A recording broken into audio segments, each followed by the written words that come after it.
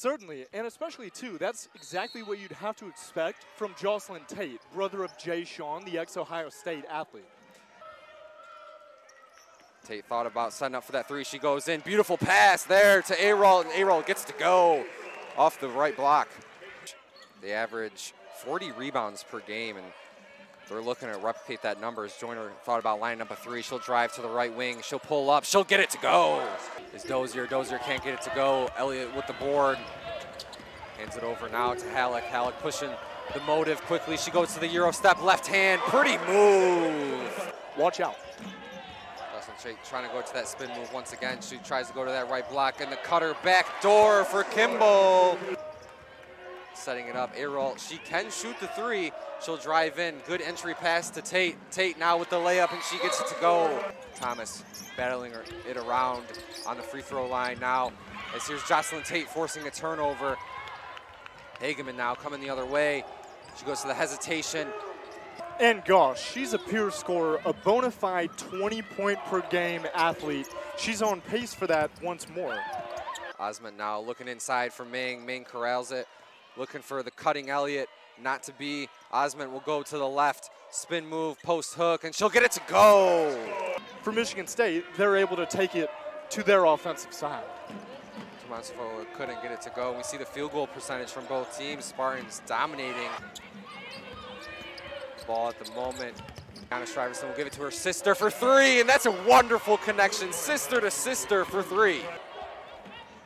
Ayrault now at the wing.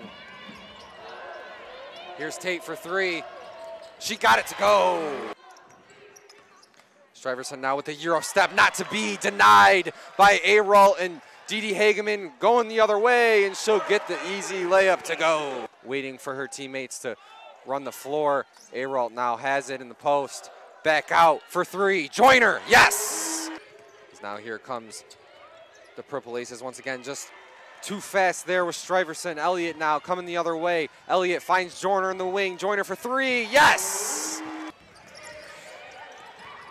Coming the other way. Beautiful spin move there from Evansville. That was Tamakova there with the layup.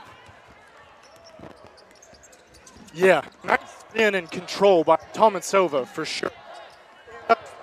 For Lauren Ross, Theryn Hallock coming the other way. The Spartans want to run. Lauren Ross, she will two dribble, pull up for three. She got it to go. Elena Stuyvesant now looking for that entry pass. Osmond again with the steal. She's looking to press. She goes down for the left-handed layup and a huge block there. I believe that was Palomo running the floor. It starts with having the intangible things go your way, such as Mang camping out there in the restricted area. Lauren Ross wants it in the corner. She has it in the corner, and she'll make it in the corner. This is a Missouri Valley team that, that was picked to finish 11th of 12.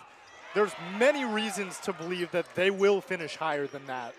Tonight, they've just struggled with poor shooting.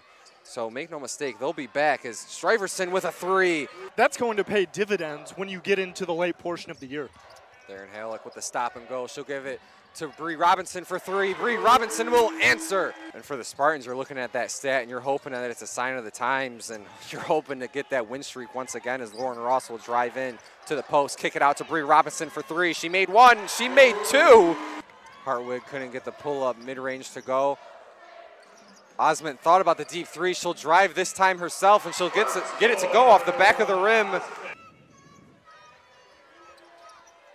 Lauren Ross now going with the left. Lauren Ross with the right, and she gets it to go. And one.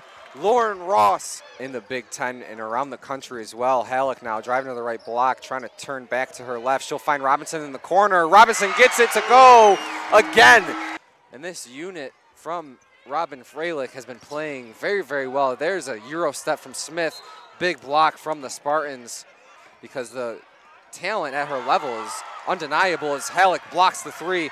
She'll go the other way, and she'll get it to go with the layup after the pass from Lauren Ross. And think about it this way for Hallock, this is an athlete who had five assists, eight turnovers through the first three games, as that one banks home.